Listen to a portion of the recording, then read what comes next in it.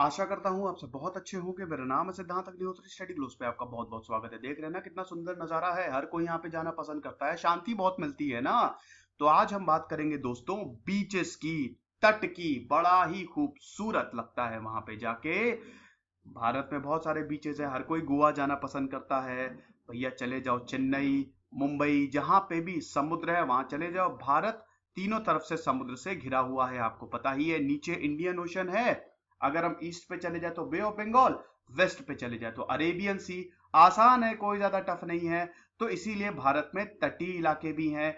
Indian coastal plains में already cover कर चुका हूँ दोस्तों मतलब द कोस्ट ऑफ़ इंडिया आप देख लीजिएगा इंडियन ज्योग्राफी पे। फ़िलहाल हम बात करेंगे जीसी लियों के अगले चैप्टर की। मैं पूरी फ़िज़िकल और ह्यूमन ज्योग्राफी खत्म कर रहा हूँ दोस्तों, बहुत ही इंपॉर्टेंट है जीसी लियोंग जो कि बहुत ही इंपॉर्टेंट बुक है। उसको मैं पूरा कवर कर रहा हूँ। आपको ज्योग्राफी बहुत अच्छे से समझ आ जाएगी। तो आज हम देखेंगे चैप्टर टेन कोस्टल लैंडफॉर्म्स ठीक है? देखिए, सीधी सी बात है दोस्तों, दो ही चीज़ होती है। अगर हम लैंडफॉर्म्स की बात करें, क्या होता है? इरोजन डिपोजिशन सिंपल सी चीज़ है, बस आपको यही समझना है। जहाँ पे भी लैंडफॉर्म्स बन रहे हैं, या इनफैक्ट कुछ भी अगर इस तरीके के फेनोमेना हो रहे हैं तो हमेशा याद करिए इरोजन होगा डिपोजिशन होगा। इरोजन मतलब क्या? सरफेस का हटना हटना, विंड की वजह से, पानी की वजह से जो सरफेस इरोड होते जाते हैं, ठीक है? मट्टी हटती जाती है, पत्थर टूटते जाते हैं, और फिर वो जो पत्थर टूटे हैं, जो मट्टी हटी है, वो कहीं ना कहीं डिपॉजिट होगी तो डिपोजिशन इरोजन डिपोजिशन सिंपल सी चीज़ है। तो लैंड फॉर्म्स की भी बात करें दोस्तों तो यही चीज़ होती है। कोस्टल लैंड फॉर्म्स की बात करें तो यही चीज़ होती है इरोजन और डिपोजिशन लेकिन यहाँ पे तो बस थोड़ा सा फ़र्क है। देखिए दोस्तों रिवर की हमने बात की थी रिवर सिस्टम की बात की थी, मैंने बताया था ना। रिवर और यहाँ पे कोस्टल क्योंकि दोनों ही जगह पानी है, यहाँ पे समुद्र है, वहाँ पे नदी थी तो दोनों ही जगह पानी है तो फीचर्स लगभग लगभग सेम है, बस यहाँ पे हवा का रोल बहुत ज़्यादा हो जाता है, ठीक है ना? तो ये बहुत ही ज़्यादा इंपॉर्टेंट है, हवा की वजह से टाइट्स आते हैं, ये टाइट्स जो है, टकराते हैं तट से मतलब लैंड से, जिसकी वजह से लैंड फॉर्म्स बन जाते हैं। वो कैसे बनते हैं? वही तो समझाने के लिए मैं यहाँ पे बैठा हूँ। तो अगर हम इरोजन की बात करें दोस्तों, वैसे तो अगर बता दो कि मरीन इरोजन देखिए इरोजन में से चार तरीके का होता है। कोरेजन मतलब काटना, जो रॉक्स कटती जाती हैं। एट्रीशन बड़े बड़े पत्थर आपस में टकराते जाते हैं, जिसकी वजह से वो और छोटे होते जाते हैं। बिल्कुल एक सैंड के फॉर्म में हो जाते हैं। हाइड्रोलिक एक्शन और सॉल्वेंट एक्शन सॉल्वेंट एक्शन क्या होता है दोस्तों? सॉल्वेंट एक्शन देखिए, यहाँ पे समुद्र का पानी है। समुद्र के पानी में नमक होता है। जब वो रॉक्स से टकराएगा रॉक सॉलिड होती है, लेकिन भैया लाइमस्टोन की बात करें तो उसमें कैल्शियम कार्बोनेट होती है ना? तो जहाँ जहाँ लाइमस्टोन प्रेजेंट होंगे और जहाँ जहाँ नमक वाला पानी टकराएगा तो वहाँ पे क्या होगा? वहाँ पे होगा केमिकल रिएक्शन जिसकी वजह से वो टूटना शुरू हो जाएगा लैंड फॉर्म्स बनने शुरू हो जाएँगे। तो होता है सॉल्वेंट एक्शन और हाइड्रोलिक एक्शन वाटर की वजह से स्प्लैशिंग की वजह से टाइट्स की वजह से। तो ये बेसिकली चार, अगर हम मरीन इरोजन की बात करें तो ये चार तरीके के होते हैं। लेकिन दोस्तों, अगर हम erosion coastal landforms due to erosion की बात करें तो सबसे इंपॉर्टेंट जो चीज़ हमको देखनी है, वो देखनी है केप्स एंड बेस देखिए, आपने सुना होगा, लेकिन कभी किसी ने ये सोचा नहीं होगा। केप टाउन साउथ अफ्रीका का शहर है ना? ठीक है? वैसे साउथ अफ्रीका की तीन कैपिटल है। Cape Town Cape of Comorin Kanyakumari जिसको बोलते हैं Cape of Good Hope South Africa bays की बात करें Bay of Bengal Hudson Bay ये सारे आपने सुने हैं। कभी सोचा है बे और केप होते क्या है? ये कोस्टल लैंडफॉर्म्स है दोस्तों। देखिए दोस्तों, अगर हम पूरी दुनिया की बात करें तो पूरी दुनिया में क्या है? एक तो कॉन्टिनेंट्स है जो कि सॉलिड रॉक से बने हुए हैं और दूसरे हैं वाटर बॉडीज ओशन फ्लोर्स हैं, ठीक है? तो अब ज़्यादा तो उसमें पानी है। तो अब दोस्तों, अगर हम बात करते हैं तो इन्हीं वाटर बॉडीज की वजह से बहुत सारे लैंडफॉर्म्स बन जाते हैं, ठीक है? अब लैंडफॉर्म्स क्यों बनेंगे? इरोजन और डिपोजिशन की वजह से। तो सबसे पहले हम देखते हैं केप्स एंड बेस कैसे बनते हैं?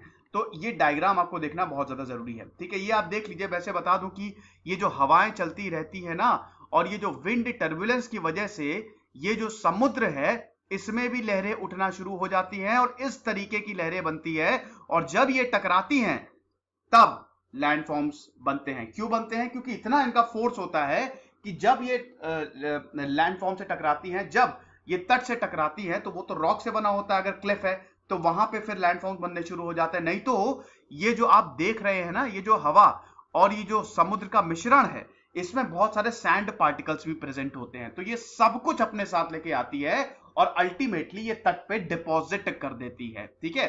तो ये एक तरीके का मैकेनिज्म है, जो वेव बनती है, ठीक? तो अब आप ये देख लीजिए। ये है, आपको दिख रहा है बे और ये है, आपको दिख रहा है केप ये है केप, ये है बे। बे में आपको बीचेस देखने को मिलेंगे, ठीक है ना? बंगाल, उस अगर उधर साइड जाए तो वहाँ पे आपको बहुत अच्छे अच्छे बीचेस देखने को मिलेंगे। तो अब आपको इसमें क्या समझ में आ रहा है? आपको इसमें समझ में आ रहा है कि ये ये देखिए, ये समुद्र है। ये जो पूरा आपको दिख रहा है ना, ये समुद्र है, ठीक है? ये पानी है। और ये जो है, ये है लैंड आपका, ठीक है ना? तो आपको एक चीज़ समझ में आ रही है कि लैंड का आधा पोर्शन तो भैया बे में गायब है और केप में लैंड का ज़्यादा पोर्शन पानी में है तो आप बिल्कुल सही समझे। केप वो होते हैं जिसमें जो लैंड जो होता है वो समुद्र की तरफ़ होता है। देख रहे हैं ना? जो लैंड है वो समुद्र की तरफ़ है। जो रॉक्स है वो समुद्र की तरफ़ है।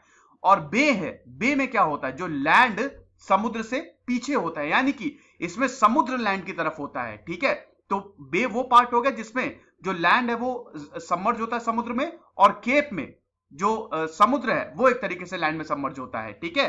तो समझ गए होंगे कि लैंड का निकला हुआ भाग केप जो कि समुद्र में होता है, और लैंड का आधा मतलब इरोडेड पार्ट यानी कि समुद्र का ज़्यादा पार्ट जो लैंड की तरफ़ जाएगा, यानी कि जो लैंड पीछे जाएगा, उसको कहते हैं हम बे ठीक है? समझ गए?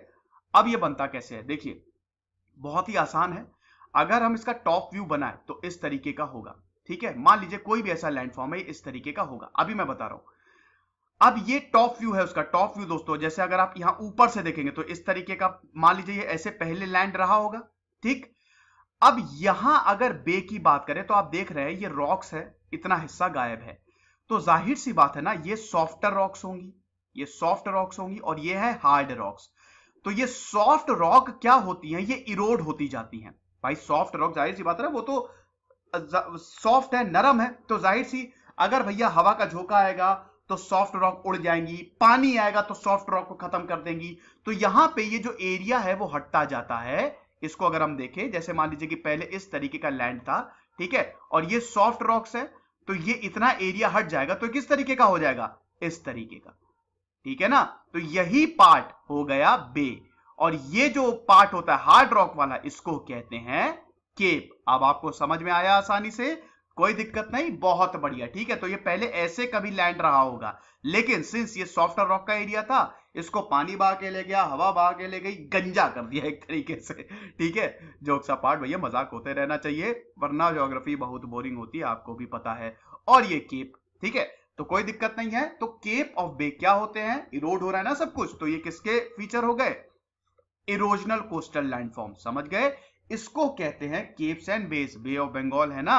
हुडसन बे है, Cape of Good Hope, Cape Town, आपने देखा ही होगा। तो ये सारी चीज़ें हैं, ठीक है? वैसे केप टाउन तो शायद बहुत लोगों ने ना देखा इनफैक्ट मैंने भी नहीं देखा है केप टाउन, ठीक है? लेकिन बड़ी सुंदर जगह है, साउथ साउथ अफ्रीका में है। साउथ अफ्रीका, वही साउथ अफ्रीका जो कॉलोनी थी एक एक समय में ब्रिटिश की, और इसीलिए में वहाँ पे आप देखेंगे तो बहुत सारे गोरे लोग मिलते हैं, ठीक है? और अफ्रीका में कहीं भी आपको गोरे लोग नहीं मिलेंगे, लेकिन साउथ अफ्रीका में मिलेंगे, क्योंकि वो कॉलोनी थी ब्रिटिश की, ठीक है? तो अब हम बात करते हैं क्लिफ्स की। दूसरा होता है क्लिफ्स। क्लिफ्स आपने देखा होगा दोस्तों एक्चुअली मैं यहाँ पे फ़ोटो लगाना भूल गया तो I am really sorry clips होते हैं दोस्तों इस तरीके की। आपने देखा होगा मूवीज़ में देखा होगा, ये बड़े से पहाड़ होते हैं और पहाड़ के ठीक यहाँ पे होता है समुद्र।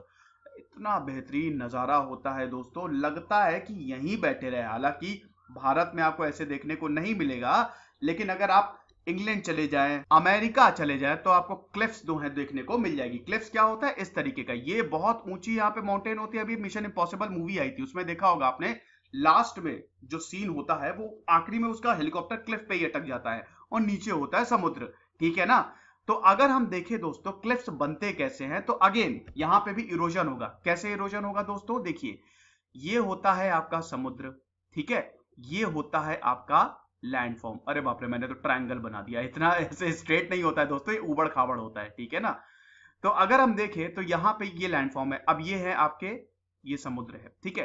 अब ये समुद्र क्या करेगा? ये यहाँ पे, जहाँ पे ये पॉइंट ऑफ़ इंटैक्ट होगा, जहाँ पे ये पॉइंट ऑफ़ इंटैक्ट होगा, ये क्या करेगा? ये इसको इरोड करता जाएगा, क्योंकि भैया यहाँ तो हवा समुद्र से मिलके भयंकर वेव्स बना रही है और यहाँ पे इंपैक्ट हो रहा है, ज़बरदस्त तरीके से। अरे बाप रे, यहाँ पे इंपैक्ट हो गया अब तो ठीक है?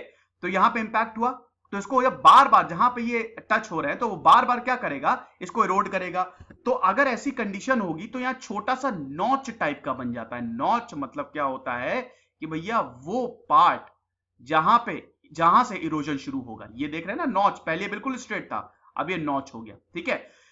उसके बाद दोस्तों देखते हैं हम क्या होता है कि यहाँ पे इसके नीचे मटेरियल जो है, वो डिपॉजिट होते जाते हैं, ठीक है? फर्दर होता रहता है, कटिंग्स होती रहती है तो यहाँ से लेकर ये जो इतना पार्ट है, ये पूरा का पूरा कट के गिर जाता है और अल्टीमेटली आपके पास एक बहुत बड़ा सा लैंडफॉर्म रहता है, जिसको हम बोलते हैं क्लिप्स और ये क्यों होता है? समुद्र से, समुद्र के टकराने की वजह से जो रॉक्स जो हैं, वो कट कट के गिरने होती हैं, ठीक है? तो इनको wave cut wave cut platforms भी बोला जाता है, समझ गए? कोई दिक्कत नहीं है, आसान है तो इस तरीके से बनते हैं हमारे क्लिप्स फिर से एक बार बता देता हूँ जैसे मान लीजिए कि ये आपका लैंडफॉर्म है, ये समुद्र है, ये बार बार यहाँ से टकराता रहेगा, एक नॉच टाइप का क्रिएट होगा इस तरीके से, जो कि पॉइंट ऑफ़ इंपैक्ट होगा, और उसके बाद जो इस तरीके का सरफेस बनता है, ठीक है? ये। आहा, बहुत बढ़िया बन गई मेरी ड्रॉइंग ठीक है ना? इस तरीके का सरफेस बनता है। ये आपका समुद्र है। ठीक है? ये आपका समुद्र और ये जो लैंड है, समुद्र के नीचे का लैंड है, और ये आपकी हो गई क्लिफ और इसी को कहते हैं वेव कट प्लेटफॉर्म। ठीक है? कोई दिक्कत नहीं है और इसको कहते हैं ऑफ़ शोर टेरिस समझ गए? तो इस तरीके से बनती है क्लिफ बड़े ही सुंदर दोस्तों नज़ारा होता है वैसे बता दूँ। बहुत ही अच्छा लगता है। क्लिफ्स को देखना इनफैक्ट क्लिफ क्लिफ में बैठना बहुत ही अच्छा लगता है। मैंने मूवीज़ में देखा असली में नहीं देखा है इसलिए ज़्यादा बड़े बड़े बोल नहीं देखने चाहिए। आई I मीन mean, नहीं बोलने चाहिए जब तक आप वहाँ पे जाए ना। उसके बाद तीसरा जो लैंडफॉर्म आता है दोस्तों वो होता है caves arch, stack and stump ये तीनों एक ही चीज़ होते हैं। ये कैसे होते हैं दोस्तों? चलिए फटाक से आपको बता देते हैं। ये देखिए, ये है आपके केव्स आर्क्स स्टैक स्टंप बहुत आसान है दोस्तों। देखिए क्लिफ्स हैं लैंडफॉर्म है। क्या होगा? यहाँ पे जैसे जैसे वक्त बीतता जाएगा तो वैसे वैसे इरोजन होता जाएगा। ठीक है ना? इरोजन होता जाएगा दोस्तों तो तो ये एरिया जो है वो कटता जाएगा। यहाँ पे दोस्तों, एक चीज़ आपको और बता दूँ लगातार ये वेव्स है ना, ये लगातार वेव्स का अटैक हो रहा है। ये देखिए वेव वाला एरिया ये है, ठीक है ना? आपको दिख रही ना तो लगातार ये वेव का अटैक होता रहता है, जिसकी वजह से अगेन सॉफ्टर रॉक जो है वो टूटती जाएँगी तो ये केव टाइप का फॉर्मेशन ले लेगा। फर्दर वक्त के साथ ही और ज़्यादा टूट जाएगा, उधर से भी तो इरोजन हो रहा है ना? तो इधर से और इधर से, जैसे मान लीजिए कि इस तरीके का अगर है तो यहाँ से इरोजन हो रहा है, ये केव बन रहा है, ठीक है? यहाँ से भी फिर इरोजन हो रहा है, ये केव बन रहा है, और अल्टीमेटली इरोजन होते होते ये दोनों मिल जाएँगे। और क्या बन जाता है? आर्क समझ गए? कोई दिक्कत नहीं है, ये टॉप व्यू मैंने बनाया है, इसको कहते हैं टॉप व्यू ठीक है? जब आप ऊपर से देखेंगे। फर्दर क्या होगा? फिर वेव अटैक होती रहेगी तो भैया ये एरिया भी आपका चला जाएगा, वक्त के साथ साथ ये भी गिर जाएगा तो ये बन जाता है स्टैक इसका छोटा भाई, ठीक है? ये पिताजी, उसके बाद पिताजी के छोटा, सबसे बड़ा बेटा, उसके बाद ये छोटा बेटा स्टैक ये भी हट गया, ठीक है? समझ गए? ये भी हट गया और उसके बाद सबसे छोटा बेटा स्टंप। जब वक्त के साथ साथ ये भी इरोड होता जाएगा और ये बहुत ही छोटा लैंडफॉर्म हो जाएगा, जिसको कहते हैं हम स्टंप जो कि वाटर के आपको अंदर ही मिलेगा। उसके बाद दोस्तों, एक और आता है, एक और तरीके का आता है, जिसको हम बोलते हैं, हम बोलते हैं ग्लूप और जियो ग्लूप क्या होता है दोस्तों, आप देख रहे हैं, देखिए, ये अगेन ये क्लिफ है, ठीक है, आपको क्लिप दिख रही है। अब होता क्या है, ये केव्स है, ठीक है? अब इसके अंदर जाता रहता है पानी। पानी जाता रहेगा, इस केव के अंदर पानी जाता रहेगा, पानी जाता रहेगा। केव के अंदर पानी जाएगा तो एक क्या होता है कि पानी ऊपर भी बढ़ता रहेगा, ठीक है? देखिए दोस्तों जैसे जैसे पानी इसके अंदर जा रहा है वेव्स हिट कर रही हैं तो रॉक्स और इरोड होती जा रही हैं। ये भाई जो क्लिफ है, ये और गहरी होती जा रही है, गुफा और बड़ी होती जा रही है। तो जितनी ज़्यादा गुफा अंदर बड़ी होगी, पानी तो भरता जाएगा ना उसमें तो क्या होगा? पानी बहुत ज़्यादा बढ़ जाता है, जितना ज़्यादा इरोड होता जाता है, उतना ज़्यादा बढ़ता जाता है। और अल्टीमेटली हम देखते हैं कि एक छोटा सा होल टाइप का एकदम ब्लो ऑफ़ होता है और जितना पानी जमा होता है, वो निकलता है। टूरिस्ट अट्रैक्शन होता है, दोस्तों, वैसे आपको बता दूँ। तो इसको कहते हैं हम ब्लो होल कोई दिक्कत नहीं है, ठीक है ना? तो इसी को बोला जाता है ग्लूप ठीक? कोई प्रॉब्लम नहीं है। ये जो आपका शाफ्ट दिख रहा है, ठीक है, ये ग्लूप है। अब अगर हम जियो की बात करें दोस्तों तो यहाँ पे पानी तो जाता जा रहा है इरोड होता जा रहा है तो समय के साथ साथ ये जितना पूरा पोर्शन है ना, ये पूरा ही इरोड हो जाएगा। तो इसको हम कहते हैं जियो, ठीक है? तो ये चीज़ है। ये दोस्तों आपके इरोजनल लैंडफॉर्म्स हो गए इरोजनल कोस्टल लैंडफॉर्म्स हमने बात कर ली। अब हम बात करते हैं दोस्तों डिपोजिशन बहुत आसान है दोस्तों, फटाक से समझा देता हूँ। डिपोजिशन क्या? जो भी सैंड पार्टिकल्स जो भी रॉक्स लेके आएँगे, वो कहीं ना कहीं डिपॉजिट होंगे। तो वो डिपॉजिट होते हैं बीच पे। देखिए दोस्तों, आपको बता दूँ कि ये थोड़ा सा ऐसे होता है स्लैंटिंग होता है, ठीक है? जो जो अगर हम देखें स्ट्रक्चर जैसे धरती गोल है ना, ठीक है? तो धरती गोल है तो हम देखते हैं कि जो समुद्र के तटीय इलाके हैं, वो थोड़े स्लांटिंग होते हैं। जैसे भारत का, अगर हम ईस्टर्न कोस्ट की बात करें तो स्लांटेड है, ठीक है? इस तरीके से है। तो होता क्या है कि यहाँ पे आता है पानी, समुद्र आता है, ठीक है? ये लैंड हो गया। समुद्र आता है, अपने साथ सारी चीज़ें लेके आता है, यहाँ पे डिपॉजिट करेगा। अब अगर मान लीजिए ये प्लेन होता तो पानी यहीं पे ही रहता, लेकिन प्लेन होता नहीं है तो ये क्या करता है, जब बैक वॉश करेगा, वापस पानी हटेगा तो जो भी अपने साथ चीज़ें लेके आया है, वो यहाँ पे डिपॉजिट करता रहेगा। इसीलिए बनते हैं बीचेस तो आप देखते हैं ना बीचेस में अक्सर आपको रेत मिलेगी। क्यों होती है वो? इसी वजह से। सैंड लेके आते हैं विंड सैंड लेके आती है, यहाँ पे समुद्र सैंड लेके आता है, समुद्र स्टोन्स लेके आता है, समुद्र रॉक्स लेके आता है, और वो सब जगह, आपने रॉक बीचेस भी देखे होंगे, ठीक है ना, भैया मरीन ड्राइव जाओ ना, बंबई में तो वहाँ पे आपने देखा होगा कि बड़े बड़े पत्थर है वहाँ पे तो सब वहाँ पे जमा होते जाते हैं और बनते हैं बीचेस लेकिन ये आपको केप में ही देखने को मिलेंगे, ठीक है ना केप में ज़्यादा जो बीचेस है वो देखने को मिलते हैं। मरीन ड्यून्स की बात करें तो ये बहुत बड़े बड़े लैंडफॉर्म्स होते हैं जो कि सैंड की वजह से बनते हैं, ठीक है? कभी कभी ऐसा होता है कि आपको बहुत दूर चल के जाना होता है और तब आपको जाके बीच दिखाई देता है, पानी दिखाई देता है। एक चीज़ और बता दू दोस्तों कि ये जो, ये इस तरीके से होता है लैंडफॉर्म ठीक है? इस तरीके की क्लिप्स होती है। तो जो वेव्स आती है, वो स्ट्रेट नहीं हिट करती, वो ऑब्लिकली हिट करती है। इस तरीके से वेव जो है, वो हिट करेंगी, ठीक है? जिसकी वजह से जो सैंड है, वो यहाँ पे डिपॉजिट होती जाती है। तो एक फिंगर टाइप स्ट्रक्चर आप देख रहे हैं ना इस तरीके का लैंडफॉर्म बन जाता है, जिसको हम बोलते हैं spit S P I T E spit ठीक है ना? क्योंकि ऑब्लिकली हिट करती हैं। अब ज़ाहिर सी बात है, यहाँ पे ज़्यादा हिट होगी, पीछे ज़्यादा हिट नहीं होगी, क्योंकि वेव तो इधर से आ रही है। तो इसको हम बोलते हैं, इस तरीके के स्ट्रक्चर को बोलते हैं हम स्पिट तो आई होप ये चीज़ आपको समझ में आई होगी। और ये जो होता है, ये हुक तरीके का है ना? हुक के तरीके का। तो इसको बोला जाता है हुक ठीक है?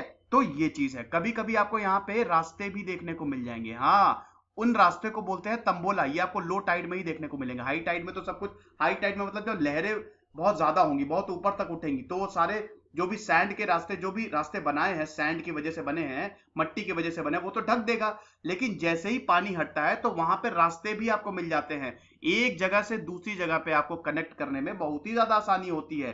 तो इसको कहते हैं हम tambola T O M B O L A इस तरीके के रास्ते को, ठीक है? तो ये चीज़ आई होप ये चीज़ आपको समझ में आई होगी। अब दोस्तों टाइप्स ऑफ़ कोस्ट की बात कर लेता हूँ। कुछ नहीं है ज़्यादा इसमें दोस्तों।